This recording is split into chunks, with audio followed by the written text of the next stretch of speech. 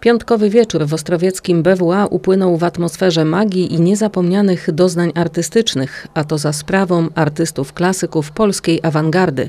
Dwie supergrupy, krakowski Underground i Antygrupa, miały swój wernisaż. Underground krakowski i nazwiska Zbyszek Libera, Adam Rzepecki, Piotr Lutyński i Jerzy Kosałka. Super e, grupa Underground krakowski bawi, e, wciąga widza w dyskurs i taka jest ich prezentacja. Natomiast e, wystawa w części górnej Antygrupa, kilka wspaniałych nazwisk, artyści, którzy działali w różnych częściach świata. E, Są wśród nich aktorzy, performerzy, twórcy wielopoziomowi. Niezwykła ekspozycja, niezwykły przekaz. Zachęcam wszystkich do odwiedzenia naszej galerii. Kolekcja to nazwa wystawy krakowskich artystów. Prezentujemy prace, które mają bardzo różny charakter, bo to są e, zarówno filmy, jak i zdjęcia, e, instalacje, rzeźby.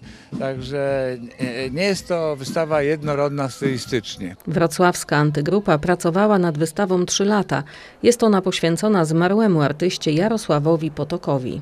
Jest jego y, praca, y, którą pokazywał w- w- już y, raz w ogóle 6p jako część jego dużej wystawy, którą sam jakby przygotował jakby na, też tutaj, na, że chce, chcemy to pokazać.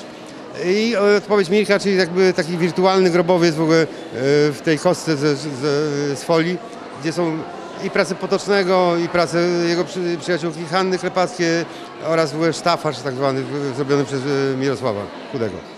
Wydarzenie przyciągnęło do Ostrowca znane osobistości, m.in. aktora Janusza Habiora, który od niedawna jest członkiem Antygrupy. Przygotowałem taką małą pracę, e, która się nazywa e, Słowo Wiązałka.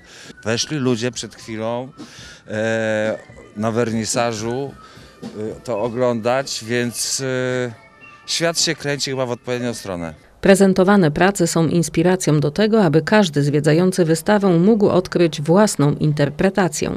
Bardzo lubię przychodzić na wernisaże i lubię oglądać właśnie takie rzeczy nowe, coś innego. Bo człowiek się z tym po prostu nie styka na co dzień. Piątkowy wernisaż odbył się w muzycznej oprawie formacji Rdzeń 69 i Salkers.